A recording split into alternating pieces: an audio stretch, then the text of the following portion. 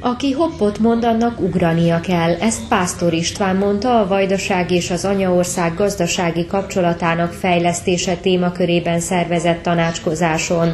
A Vajdasági Magyar Szövetség elnöke szerint, ha nem mutatunk fel eredményeket a gazdaság fejlődése terén, akkor csökken az esélye annak, hogy a szülőföldünkön boldogulhatunk.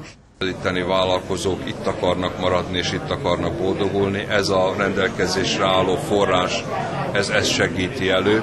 Én azt várom, hogy a pályázat nagy érdeklődést vált ki, nem csak a fórumok látogatottsága tekintetében, hanem a beadott pályázatok vonatkozásában is.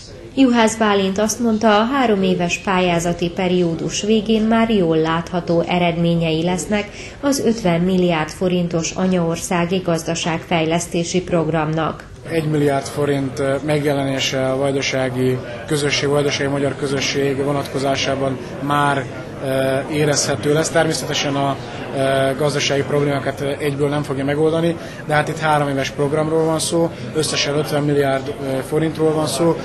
Biztos vagyok benne, hogy a három éves periódus végére már látható jelei lesznek.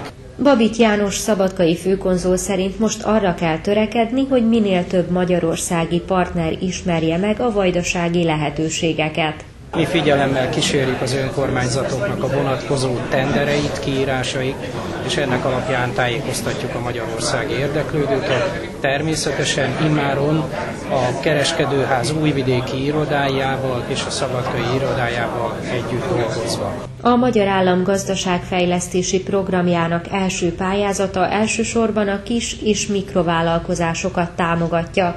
A pályázóknak magyar és szerb állampolgársággal kell podcast nuke